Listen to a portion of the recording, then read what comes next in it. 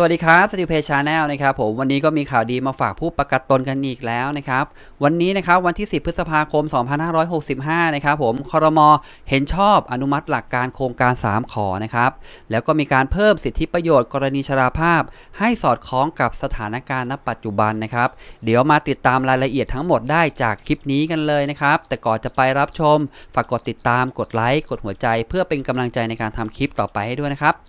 ด้านนายสุชาติชมกลิ่นนะครับ รัฐมนตรีว่าการกระทรวงแรงงานนะครับ ผมก็เปิดเผยนะครับว่าที่ประชุมคณะรัฐมนตรีในวันนี้นะครับ วันที่ 10 พฤษภาคม 2565 นะครับ ได้มีมติเห็นชอบในหลักการร่างพระราชบัญญัติประกันสังคม ฉบับที่ พศตามที่กระทรวงแรงงานเสนอนะครับ เนื่องจากกฎหมายว่าด้วยการประกันสังคม ที่ใช้บังคับในปัจจุบันมีบทบัญญัติบางประการที่ไม่เหมาะสม และไม่สอดคล้องกับสภาพเศรษฐกิจและสังคมที่เปลี่ยนแปลงไปนะครับ ประกอบกับ จากสถานการณ์การแพร่ระบาดของโควิด -19 ที่ส่งผลกระทบต่อการดำรงชีวิตของผู้ประกันตนนะครับ ทางกระทรวงแรงงานนะครับ ผมจึงเสนอกฎหมายดังกล่าว เพื่อเป็นการบรรเทาความเดือดร้อน ให้ผู้ประกันตน ให้มีหลักประกันทางสังคม และได้รับสิทธิประโยชน์ ภายใต้ระบบประกันสังคม ที่มีการพัฒนาเพิ่มมากขึ้นนั่นเองนะครับ โดยสาระสำคัญของร่างพระราชบัญญัติประกันสังคมฉบับที่พศฉบับนี้นะครับผมมีอะไรบ้างนะครับมาดูกันนะครับ 1. นะครับการขยายความคุ้มครองให้กับผู้ประกันตน เพื่อรองรับสังคมผู้สูงอายุนะครับ โดยขยายอายุขั้นสูงของผู้ประกันตนมาตรา 33 ให้ผู้รับเงินบำนาญชราภาพ สามารถสมัครเป็นผู้ประกันตนได้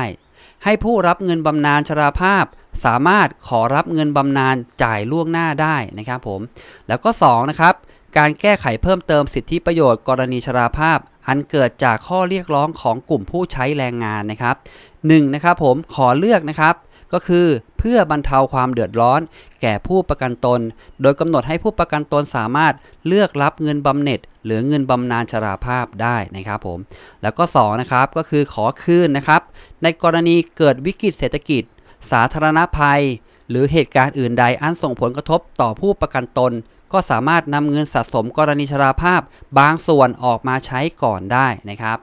แล้วก็ขอกู้นะครับผมการนำเงินสะสมกรณีชราภาพ ไปเป็นหลักประกันกับสถาบันการเงินได้นะครับผม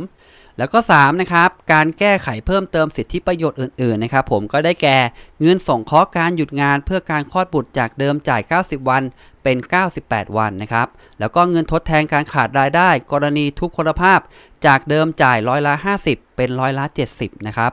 กรณีส่งคราะห์บุตรนะครับให้ได้รับการคุ้มครองต่อไปอีก 6 เดือน นับแต่วันที่สิ้นสภาพการเป็นผู้ประกันตนนะครับผม แล้วก็ 4 นะครับ ปรับปรุงเงื่อนไขในการสมัครเข้าเป็นผู้ประกันตนมาตรา 39 และกำหนดให้เงินเพิ่มของผู้ประกันตนมาตรา 39 จะต้องไม่เกินเงินสมทบที่ต้องจ่ายนะครับ 5. นะครับผมแก้ไขเพิ่มเติมในส่วนของบทบัญญัติที่เกี่ยวข้องกับคณะกรรมการนะครับ ทั้งในส่วนของการได้มาซึ่งผู้แทนฝ่ายนายจ้าง และผู้แทนฝ่ายผู้ประกันตน